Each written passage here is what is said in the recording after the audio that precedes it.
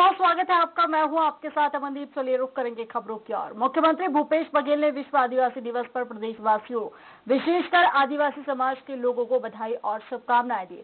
और इसके साथ ही प्रदेश की माताओं को हर स्थिति यानी कि हर्षद की बधाई दी और शुभकामनाएँ भी दी। मुख्यमंत्री ने कहा कि छत्तीसगढ़ जनजाति बाहुल्य प्रदेश है। जनजातियों की प्राचीन कला और संस्कृति यहाँ की अनमोल धरोहर है।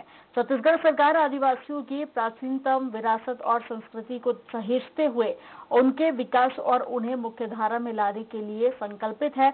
हमारी कोशिश है कि प्रकृति के करीब जीवन जीने वाली यहाँ की बत्तीस प्रतिशत आदिवासी जनता को सभी आवश्यक नागरिक सुविधाएँ और आगे बढ़ने के सभी साधन सुलभ हो।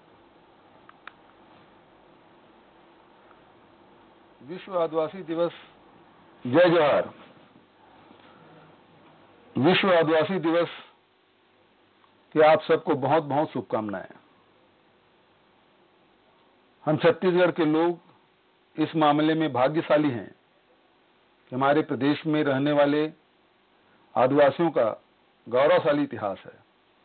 समृद्ध भाषा और संस्कृति है, तथा विश्व भर में एक विशिष्ट पहचान भी है। हमें हमेशा इस बात का गर्व होता है कि हमारी सरकार की प्राथमिकता में सबसे शीर्ष पर है राज्य के दूर दराज इलाके में रह रहे आदिवासियों का विकास। आदिवासियों को अधिकार देने में हम देश में सबसे आगे हैं। आज विश्व आदिवासी दिवस का अवसर हमें हमारे आदिवासी पहचान और संस्कृति पर गौरव करने का अवसर है। आप सबको पुनः विश्व आदिवासी दिवस की बधाई। जय आदिवासी, जय छत्तीसगढ़। धन्यवाद।